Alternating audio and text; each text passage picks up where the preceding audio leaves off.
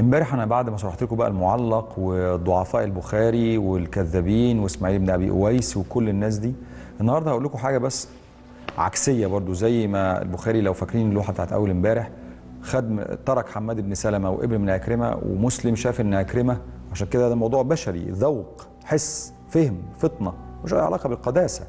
مسلم شاف إن عكرمة لا يقبل منه حديث لأنه كذاب بشهادة الإمام مالك وخد من حماد بن سلمة.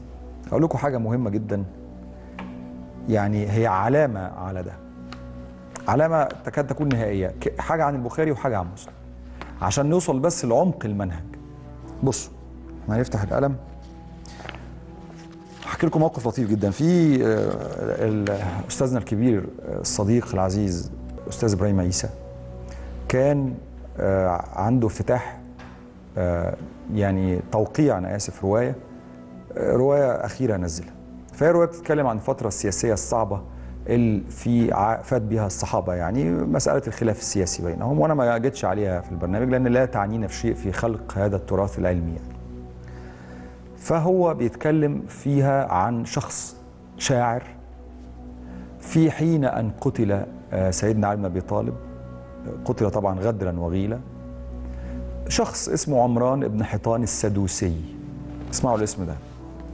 عمران ابن حيطان السدوسي. دي سين يعني ماشي؟ فهو بيتكلم إنه طبعا أستاذ إبراهيم عيسى عارف كل حاجة بس هو حب يقول ده إنه رجل قال شعر معروف جدا يمدح فيه عبد الرحمن بن ملجم قاتل سيدنا علي.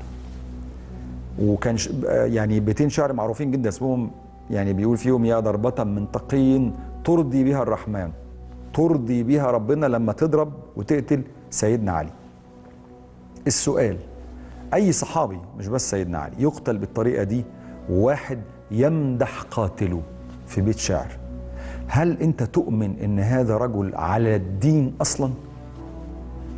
يعني الذي يرى أن مدح قاتل علي أو أن قاتل علي يمدح وأنه رغب في قتل علي بن أبي طالب رضا الرحمن.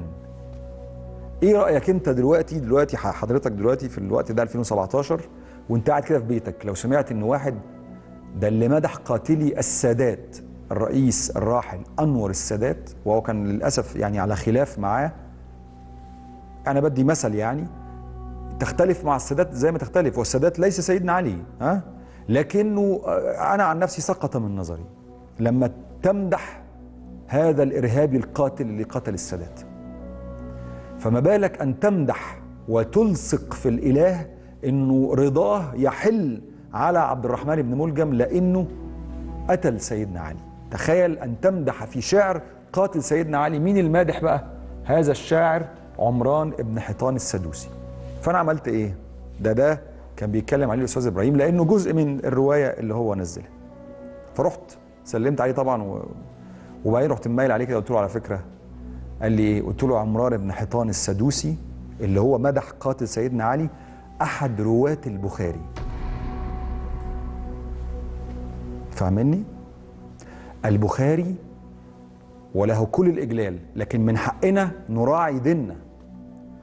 أخذ حديثا عن عمران بن حيطان السدوسي وهو لأنه طبعا بعده ب 200 سنة فهو عالم أنه كان مات خلاص عمران ويمدح قاتل سيدنا علي. قاتل الصحابة بالعموم يا سيدي قبل منه لما جه السند في عمران قبله. ولذلك الالزامات والتتبع الكتاب اللي كلمته كلمتكم عنه امبارح بتاع الدار قطني الراجل العظيم قال إيه؟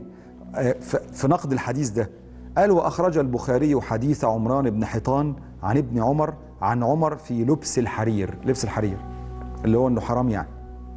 وبص كلام بقى الدار قطني الراجل العادي يعني من أياميها يعني مش محتاجة. وعمران متروك ده يترك ها لسوء اعتقاده وخبث رأيه. ده الكلام. يعني إيه؟ يعني عمران ما يتاخدش منه كلمة. إزاي أنا أأمن لواحد في صدقه مدح قاتل الصحابة؟ واحد من الصحابة أحد الصحابة. فما بالك بواحد من أكابر الأربعة؟ إزاي أمدحه؟ ولما أمدحه يتقبل حديثي تخيلوا واحد دلوقتي في زماننا ده عمل كده. طلع ومدح قاتل علي وبعدين طلع لكم في برنامج بقى تاني يوم بيتكلمكم في الدين. هتعملوا فيه إيه؟ لكن البخاري قرر على فكرة أنا مش زعلان خالص ولا متضايق بس أنا كمان من حقي أقول له حضرتك فكرت يعني على غير الصواب. لما تقبل حديث من عمران بن حيطان السدوسي ده يخصك ما يخصنيش.